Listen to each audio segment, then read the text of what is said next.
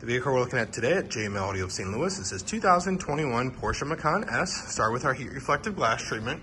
We did a level four to the sides and back and finish that up with one of our many details for the specific client. If we could be of assistance to you, let us know through our website, which is simply jmlaudio.com. And be sure to like and subscribe to our YouTube channel for upcoming vehicles.